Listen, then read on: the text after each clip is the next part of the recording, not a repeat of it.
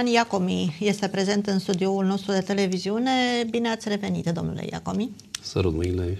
Nu ne-am văzut de vreo două luni, cred, în studioul acesta, nu? Aproximativ. Da, aproximativ două Erați proaspăt uh, ales uh, președinte. Era prima întâlnire. Prima după, întâlnire. După acea func- această funcție foarte importantă la nivelul județului. Între timp, uh, să zicem așa, v-ați impus uh, punctul de vedere în organizație. Nu neapărat că mi-am pus punctul de vedere sau am încercat să-mi impun punctul de vedere. Am discutat, nu, dar cum? Am discutat ca un vechi prieten al uh, membrilor PSD, a colegilor primari și cred că am găsit înțelegere. Au mai fost și mici neînțelegeri, dar vor intra normal până la urmă. Funcționează Funcționează organizația foarte județeană bine, PSD da. Călăraș? Funcționează foarte bine, da. Cu noua conducere? Cu noua conducere aleasă statutar și legal. Aveți semnale? Mai sunt nemulțumiți? Care ar vrea mm. să plece? Nu, nu și-au exprimat dorința că vor dori să plece. Da. Am avut doi consilieri care și-au depus demisia și au urmat membri, sunt membri în continuare, dar nu cred că vor pleca. Deci lucrurile sunt așezate. Suntem pregătiți pentru a începe campania electorală. De fapt, campania electorală am început de momentul în care am fost numit interimar.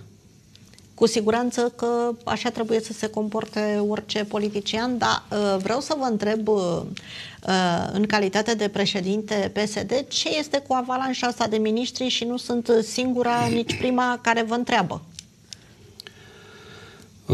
Avem o colaborare foarte bună cu guvernul PSD, guvernul doamnei Dăncilă. Organizația Călăraș. Organizația Călăraș.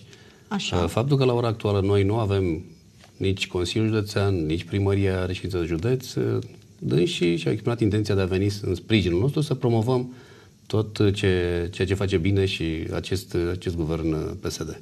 Dați șanse mai mari județului Călăraș în a fi susținut uh, prin investiții odată cu venirea miniștrilor la Călăraș, pentru că, iată, îl avem pe ministrul Daniel Breaz și avem uh, multe probleme cu uh, clădirile de patrimoniu, dar cea mai mare și vizibilă este asta cu uh, instituția, sediul în care funcționează instituția prefectului, Palatul Administrativ. Da, împreună cu domnul ministru săptămâna trecută a fost în județul Călăraș și am început vizita dimineață la orele 8.30 în municipiul Oltănița, unde chiar îl felicit pe domnul primar pentru investiții care le-a făcut acolo, o casă de cultură foarte frumoasă, undeva la 6 milioane de euro, de acolo ne-am deplasat în uh, municipiul Călăraș, unde am avut întâlniri cu președintele Consiliului Județean, cu directorul, uh, domnul director Danciu de la Cultură și am adus la, adus la cunoștință anumite aspecte legate de uh, clădirea de patrimoniu. Legat de clădirea prefecturii, știu, este emblematică pentru județul Călăraș și zice că nu numai. Știu că domnul ministru a venit și le-a pus pe masă celor de la Consiliul Județean avizul dat de către uh, Ministerul Culturii pentru uh, depunerea documentației la uh, Compania Națională de Investiții pentru reabilitarea acestui corp. Domnule uh, președinte al PSD, domnul ministru Braz, uh, a fost uh, destul de tranșant, ca să spunem așa, uh, în ceea ce privește derularea unor proiecte pe care Ministerul Culturii sau pentru care Ministerul Culturii ar putea să se implice în județul Călăraș, cu atât mai mult cu cât uh, nu avem uh, prea multe obiective uh, de vizitat în Călăraș sau de văzut. Deci acest palat administrativ, într-adevăr, ar putea fi un punct de referință pentru municipiul și, de ce nu, și, și județul Călăraș. Înțeleg că e o discuție, să zicem, certă pe tema asta. Avansată și certă. Da. Uh, ministrul Ioan Deneș, iată, ministrul apelor și pădurilor, a fost din nou la Călăraș și a adus în fața noastră o listă de investiții extrem de importante pentru județ. Da, domnul ministru al apelor și pădurilor, chiar împreună cu dânsul ieri ne-am deplasat în, ieri dimineața la Borcea, pentru o investiție, o subtraversare, unde aveau probleme cetățenii din Comuna Borcea, ne-au așteptat acolo și chiar a fost o discuție foarte, foarte bună. Și pe urmă am deplasat cu bacul, am trecut pe malul celălalt al uh, brațului Borcea, uh, o consolidare, din câte am înțeles, în termenii dânșilor, uh-huh. unde împreună cu domnul primar și cu doamna senator și domnul deputat Sorin Vrăjitoru, uh, deja avem niște studii de fezabilitate pentru accesarea um, acelui proiect, undeva cred că se va investi la 22 de milioane de euro în județul Călăraș. Este un proiect uh, comun și cu Ialomița. Știu că un proiect mai mare. Mai mare, de 40 ceva de milioane de euro, 20 și ceva, se va, 22 de milioane de euro se vor investi în, în județul Călăraș pentru aceste consolidări ale de altfel a vorbit și despre lucrările care ar trebui să se facă pe Dunăre, sunt prinși niște bani. Uh, nu știu, cred că iarăși suntem una dintre țările cu probleme în sensul acesta că noi n-am prea făcut da, investiții pe malurile Dunării. Ne-a pus uh, la dispoziție o hartă cu o zonare, cu, avem undeva șapte zone, uh-huh. împreună cu directorul general de la Apele Române, ne-au prezentat uh, fiecare etapă, fiecare zonă și mai mult ca sigur, în primă fază știu că va fi scoasă în licitație și toate avizile, zona 4 care aparține, vorbim de zona uh, Ialomița Călăraș. Ialomița Călăraș, da. Uh, un punct uh, iarăși foarte important îl reprezintă acest proiect depus pentru finanțare de autoritățile locale, de Călăraș vorbim, uh, Brațul Borcea, proiectul Promenada, așa este el uh, cunoscut. Uh, în sfârșit, amenajarea malului ăstuia din cotul uh, Borcei de la Călăraș. Da, știu, în mare parte am cunoștință despre acest proiect. Că am fost rugat acum, cred că vreo lună de zile sau două luni, nu mai rețin bine, de domnul președinte al Consiliului Județean, trebuia să obțină un aviz de la apele române. Exact. Se chinuia de foarte mult timp și am vorbit în urma discuției purtate cu domnul director general de la apele române, domnul Victor Sandu, Uh, în 24 de ore, Consiliul Județean a avut avizul acela chiar și ieri. În fața, deci avizul a fost în fața domnului ministru, domnul președinte Consiliului Județean i-a mulțumit pentru că operativitatea și promptitudinea de care a dat de dovadă Ministerul uh, Apelor și Pădurilor. Așa, în timp știți că apar nemulțumiri din partea uh, factorilor locali legate de faptul că, nu știu, regionala CFR e pe la Constanța și orice lucrare vrei să o faci trebuie să te duci acolo uh, ca să-ți iei uh, avizele. Uh, cu malurile apelor ne ducem pe la Buzău, nu? Parcă așa? Da. Așa. Cu pădurea nu știu pe unde ne mai ducem și tot așa. Știți? Adică vorbim de descentralizare, da. da. Dacă îmi permiteți, la ultima, ultimul CEX a avut loc această, în această săptămână la Comitetul al, Executiv la PSD, al da? PSD Pentru da, cei care... Parlament. Da? Uh, domnul președinte Liviu Dragnea, uh, inclusiv noi am votat ca în 45 de, zi, uh, de zile fiecare minister să vină cu reorganizare, cu descentralizare, să propună pentru a fi votat. Pentru că sunt foarte multe agenții, foarte multe uh, direcții, nici nu le mai știm numărul, și acele trebuie neapărat să vină în județul respectiv, ca respectiv, județul X să aibă mai multă putere de decizie. Să nu ne plimbăm pe la Buzău pentru a lua un aviz, o cerere, uh, orice aviz minor, trebuie neapărat să ne ducem la Buzău, la apele române. Va fi o decentralizare. Deci va fi. În 45 de zile este dat termen clar. Adică din toamnă, cel puțin, lucrurile se reașează. Mai mult și ca sigur. Despre orice fel de proiect am uh, vorbit, nu mai pot uh, apărea scuze de genul, uh, știți, da, sunt că foarte mult, cel puțin cu drumul până la Constanța, la Buzău, te duci, te întorci, mm, ai răbdare, mâine, mâine, așa, având aici agenția, ai aici tot ceea ce trebuie, nu mai trebuie neapărat ca să bați uh, sute de kilometri pentru orice virgulă la nu știu ce aviz. Sunteți primar al orașului Lehliu Gară. Uh, care sunt cele mai grave probleme ale localității și ale mm, satelor, uh, comunelor învecinate? Legate de apa potabilă, bănuiesc, nu? Un da, aspect. în municipiu, în orașul Lehliu Gara avem o problemă, vorbim de orașul Lehliu Gara, problemă cu apa potabilă. Deja acum uh, avem licitație pentru reabilitarea a celor 3 km de canalizare și mai avem undeva la vreo 2, 2 km 700 de reabilitare, alimentare cu apă. Noi, de când, eu din 2008, de când am început să reabilitez, să reabilităm toate aceste rețele, uh, vă dați seama că n-am reușit prin proiecte, că am avut proiecte și de asfaltare și ambulatoriu, care m-a costat foarte mult. Au fost mari cofinanțări din partea noastră, alimentare cu gaze în orașul Lehliugara, ceea ce uh, și banii nu mi-au ajuns ca să pot termina. Cred că anul acesta, în orașul Lehliugar, nu mai putem vorbi de o anumită zonă unde apa nu mai este bună. Va fi exact cum va pleca din stația de tratare, așa va ajunge până la ultimul, ultima gospodărie din, din localitate. În satul Răzvani avem alimentare cu apă, iar acum în satul Buzoieni și în Răzvani avem prin, împreună cu EcoAqua, cu operatorul, un proiect pentru extindere canalizare în satul Răzvani. Avem canalizare, dar avem, facem extindere și în satul Buzoieni alimentare cu apă. Uh, tot în aceste două sate lucrez la un proiect, eu maxim într-o de zile o să îl scot în licitație, urmă, acum iau proiectele, uh, avizele și am 32 de kilometri de asfalt în Lehliu Gară, mai am 7 km în anumite zone care nu au fost prinse în primul proiect pe PNDL 1. Uh, Buzoieni și Răzvani va fi asfaltat în totalitate. Acum, dacă tot bateți județul de la nord la sud și de la est la vest, vă întreb, problemele localităților sau ale comunităților sunt aceleași sau diferă substanțial?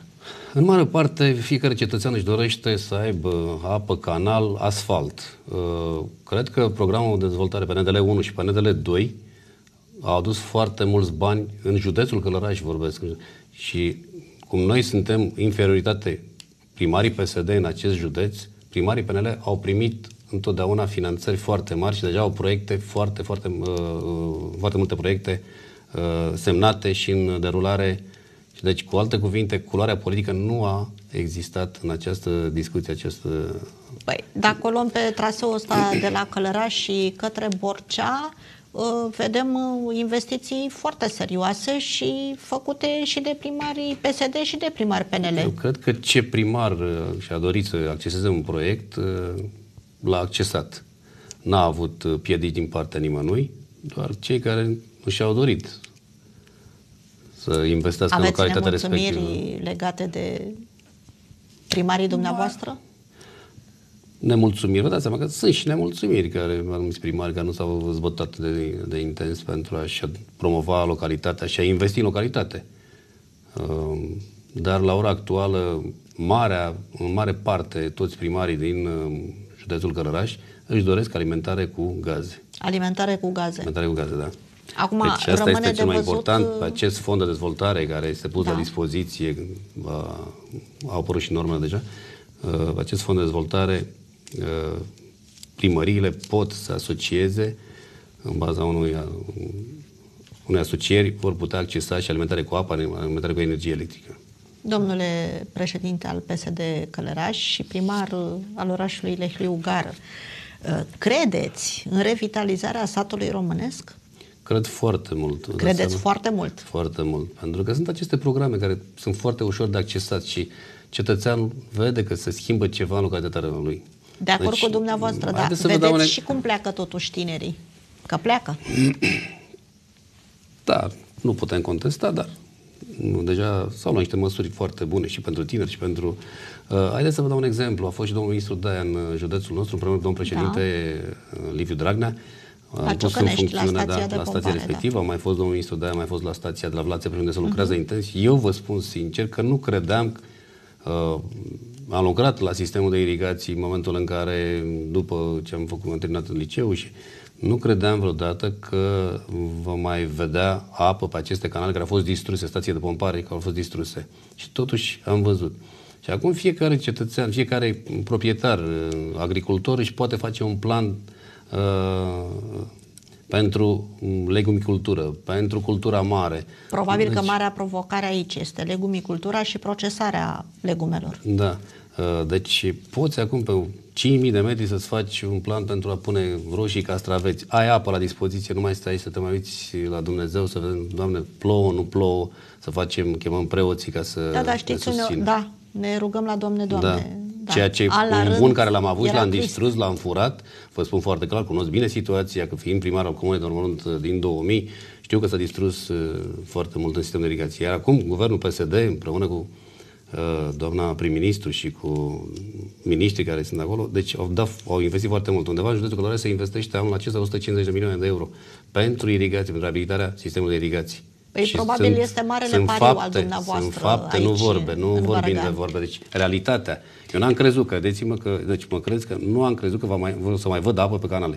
Și să lucrează la stația la Vlad Țepeș, care va alimenta și Ialomița. Deci, pe urmă, să lucrează la stația la Făurei, care alimentează în aceeași parte, ajunge în zona Ialomița către Ciochina. Cunosc sistemul, deci l-am luat la picior, am mers, am identificat am făcut o evaluare la ceea ce s-a distrus, ce s-a furat și ce poate fi refăcut. Important este și ce vă spun fermierii.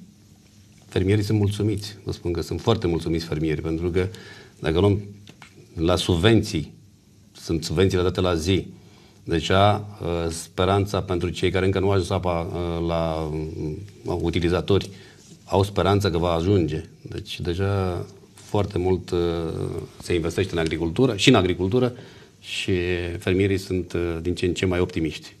Domnule Iulian Iacomi, cât privește măsuri pentru tineri, că tot am adus în discuție problema tinerilor și mai ales a lipsei de perspectivă, sau cel puțin despre asta vorbeam până acum, Mă refer în primul rând la cei de la sat. Știți, se trezesc de dimineața și se uită cu ochii pe cer. Știm că nu sunt prea multe investiții în satul din Bărăgan. În afară de câteva ferme, ceva zootehnie pe unde mai e și în rest Momentul, care e viziunea dumneavoastră? Cred că ar fi trebuit atrase investiții din partea edilor, să atragă investiții în localitățile respective, în comunitățile care le conduc, ca să poată crea locuri de muncă. Orice loc de muncă uh, atras, uh, automat... Uh, Discutați despre asta cu primarii Am avut PSD? întâlniri cu primarii și încercând să aducem investitori cât mai, mai aproape de aici, să le ofere anumite facilități, să putem... Uh, V-am zis, cea mai mare problemă, cei care vin, investitorii vin și întreabă apă, canal și gaze. Deja apă și canal avem. Urmează gaz, uh, alimentare cu gaze, acum în etapa a treia, un fel de PNDL 3. Da. E, știți și dumneavoastră că încă se întâmplă, pleacă mașinile cu pâinea produsă în Călăraș către satele învecinate. E de-a dreptul de neînțeles. Cred că în ce adică... ar putea să existe câte o brutărie, o mini-brutărie nu? pentru a aproviziona. Ceea ce înseamnă că cel puțin o familie extinsă ar putea să trăiască mai bine în fiecare sat nu neapărat uh, comună. Iată, Vi- o idee. Viitorul sună bine, doamna. Ca să nu mai vorbim despre faptul că și nouă, celor de la oraș, ne place pâinea aia de casă făcută pe vatră, știți, pe care nu prea o găsim. Dacă te duci dimineața la prima oră, dacă nu, ghinion. Ei de unde găsești. So- soția mea chiar săptămâna trecută a cumpărat un aparat de asta de făcut pâine, nu știu. Pune toate ingredientele acolo și E, da, în trei, în trei ore altă, mănânc pâinea. E o altă soluție și asta, da, corect. E la corect. curent, deci dacă vrem... Da, da. ne-am uh, obișnuit totuși și să putem nu, să avem fost, la îndemână pâinea caldă fost, de cumpărat. Am fost singurul primar în perioada 2003-2005, atunci când am forțat și am stat, m la masă cu cei de la Transgaz, când a făcut alimentarea cu gaze de la Urziceni pentru firma de geamuri, de aici de la noi din da, da, da. nu-i pronunț numele pentru că nu avem voie să facem Nu avem voie, da da? Uh, Transgaz fiind societatea națională a noastră, uh, nu m-am lăsat până în momentul în care nu mi-a adus stație de reglare măsurare uh-huh. la limita localității Dormărunt pentru a alimenta uh, ora, comuna Dormărunt cu gaze. Nu vreau, n-am vrut nici eu, ne-am mai la masă, am găsit soluții și chiar am forțat, într-un moment dat am forțat, nu, vreau neapărat gaz. Altfel, încercați să obțineți toate avizele care trebuie. Și am chemat cetățenii, proprietari de terenuri și cu toții și-au dat acceptul, am semnat și spune, da, ne dăm acceptul ca să treacă conducta. Cu trecea până la urmă. Trecea până la urmă, dar trecea. cu întârzieri. Da. Dar a fost condiția pusă ca noi să putem. Și de acolo am alimentat Comuna Dormărunt. A fost, nu a fost un merit al meu, al comunității, nu al meu, pentru că primarii n-au merite, doar ce este rău. Primul... Și s-au întâmplat lucruri bune. Deci, al lor. De acolo am plecat la, Dormă, la Lehliu Gară și am alimentat orașul Lehliu Gară cu gaz de la Dormărunt. Deci m-aș mândri. Sunt două investiții făcute în două localități unde gazul la ora actuală este cel mai important și pentru... înțeleg uh, acum uh, prioritatea cea mai mare este cea legată de apă și canalizare, după gaz. În, uh, în zona despre care vorbiți. doar măruntul are și apă, au, acum lucrează la canalizare, au apă deja, vor lucra la canalizare, iar la Lehliu Gară mai am alimentare cu apă în statul Buzoieni și canalizare extindere în, în satul Răzvan. Deja avem canalizare, dar avem o stație de pompare apă uzate. Cu ce mesaje vă duceți către reprezentanții Guvernului uh, României atunci când uh, aveți întâlniri la partid, la centru? Da, culeg problemele de la primari, de, din județ, nu neapărat numai primarii PSD, avem colaborări foarte bune și cu, PN, cu primarii PNL și atunci mergem și susținem investițiile care se fac în județul nostru. Și întotdeauna și consilierii locali și consilierii județeni ai uh, județului Călăraș le-am spus să gândească foarte bine dacă sunt anumite proiecte de dezvoltare a uh, județului, a orașului, a municipiului, să le voteze. Vrem Pentru și că... proiecte de anvergură, domnule președinte, că ăsta era sensul întrebării. Călărașul, din păcate, n-a prea dat ministrii. Da? Am avut un caz fericit un pe la începutul ministru, anilor da. 90, da? Domnul ministru Tărăcilă, după care a mai fost așa aici, colo, strecurat cât un uh, secretar de stat, uh, în sfârșit. Dar n-am dat uh, uh, miniștrii de anvergură ca să avem și noi proiecte mari finanțate. Dacă electoratul din Călăraș ne va susține, le vom cere votul și ne-l va da să putem câștiga primăria, reședința de județ și Consiliul Județean, atunci vă promit că eu, în calitate de președinte, voi face tot ce este posibil pentru a atrage, atrage cât mai multe investiții în, în județul nostru, mai ales în, și în municipiul Călăraș. Mulțumesc mult pentru prezență!